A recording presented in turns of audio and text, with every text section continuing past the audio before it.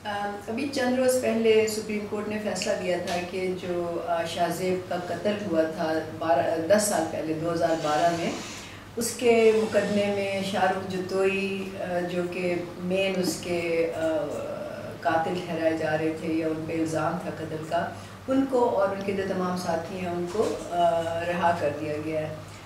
अब इस पे सोशल मीडिया पे बहुत ज़्यादा पब्लिक की तरफ़ से भी रिएक्शन आ रहा है और बहुत से सवाल भी उठ रहे हैं।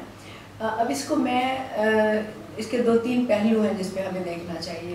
एक पहलू तो ये है कि ज़ाहिर है कि कानून जो है वो सबसे जिस पे तनकीद हो रही है कि कानून अमीर को प्रोटेक्ट करता है, ताकतवर को प्रोटेक्ट करता है। पाकिस्तान एक नहीं, दो पाकिस्तान है और कमज़ोरी हमेशा कानून का निशाना बनता है। जो कि एक वैलिड पॉइंट है। दूसरा पॉइंट ये है कि अगर शाहरुख जतोई कातिल नहीं थे तो फिर कातिल कौन है? अब इसका, इसकी क्या फर्दर इन्वेस्टिगेशन होनी चाहिए? क्या हमें इस केस को बंद कर देना चाहिए? कि बस अगर, क्योंकि शाहरुख जतोई जो है, वो इससे बरी ज़िम्मा हो गए तो शाहरुख मतलब उसका जो शाहजेब का कत्ल था, वो उसका केस अब बंद कर दिया है। ये एक और पॉइंट है जिस पे हमें सोचना चाहिए। और तीसरी जो बात मैं कहना चाहूँगी वो ये है कि जब इस तरह के वाक़ात होते हैं और अदालतों पर से लोगों का यकीन उठ जाता है भरोसा उठ जाता है और इस तरह के बहुत से पहले भी वाक़ात हुए हैं। मतलब हमारे सामने अभी एक केस था जिसमें कि वो मजहर जाफिर का केस था जिस नूर मुकदम का जो कत्ल किया था उन्होंने। फिर एक और था सिंध में जतोई था क्या नाम था? ना, नाजिम जतोई का कत्ल था। और फिर एक और कुछ अर्सा पहले कुछ साल पहले बल्कि रेमन डेविस ने दो कत्ल किए थे और वो भी मुल्क से, मुल्क छोड़ के निकल गए थे और उनको बाद में बरी ज़िम्मा करार दे दिया गया था। तो उससे ये बात साबित हो जाती है कि ये कानून जो है वो मज़बूत और ताकतवर लोगों का तहफ़ करता है।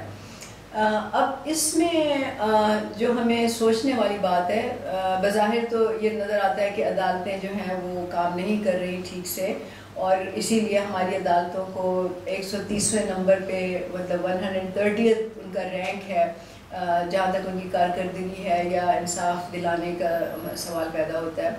लेकिन असल बात यह है कि अदालतें जो हैं वो इसी निज़ाम का हिस्सा हैं। मतलब अदालतें कैसे ठीक होंगी? अगर आपका पूरा सिस्टम ही आ, कुछ लोगों के कंट्रोल में है जागीरदारों के सरमायादारों के ताकतवर लोगों के कंट्रोल में है तो आप कैसे ये उम्मीद रख सकते हैं कि सिर्फ़ एक अदारा उनमें से जो है वो सही से काम करेगा?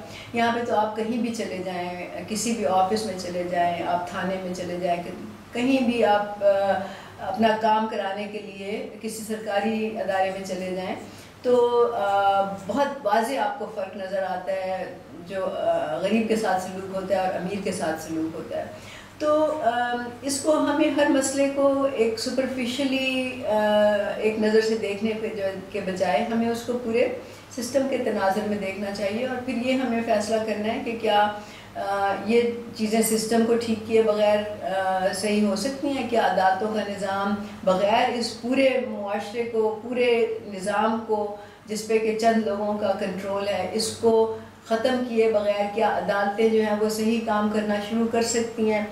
तो आ, मेरी राय में तो वो नहीं कर सकती लेकिन आप लोग भी इस बात पे सोचें क्योंकि ये पाकिस्तान के लिए एग्जिस्टेंशियल क्वेश्चन है मतलब पाकिस्तान की बका का सवाल है। कि ये मुआरा ये कौम, ये निज़ाम ऐसे ही चलता रहेगा या इसमें कोई तब्दीली आनी चाहिए? और अगर तब्दीली आनी चाहिए तो कैसी आनी चाहिए और वो कौन लेके आएगा? और मेरा ख्याल है कि यहाँ पे ये सवाल पैदा होता है कि इसमें आम लोगों का क्या रोल है? और बराबरी पार्टी पाकिस्तान जो है वो इसीलिए बनाई गई थी कि हम इस निज़ाम का लोगों को समझाएँ और फिर इसकी तब्दीली के लिए हम स्ट्रगल करें, जो कि आम लोगों की मदद के बगैर, उनकी पार्टिसिपेशन के बगैर, उनकी समझ के बगैर, उनका, उनको इस पूरे निज़ाम का तजिया करके दिल से इस बात पे यकीन करना कि ये निज़ाम बदलने वाला है, उसके बगैर नहीं हो सकती। तो मेरा काम सिर्फ़ आपकी तवज्जो दिलाना होता है इन इशूज़ पर, बाकी आप अपनी राय खुद कायम कर सकते हैं। बहुत शुक्रिया।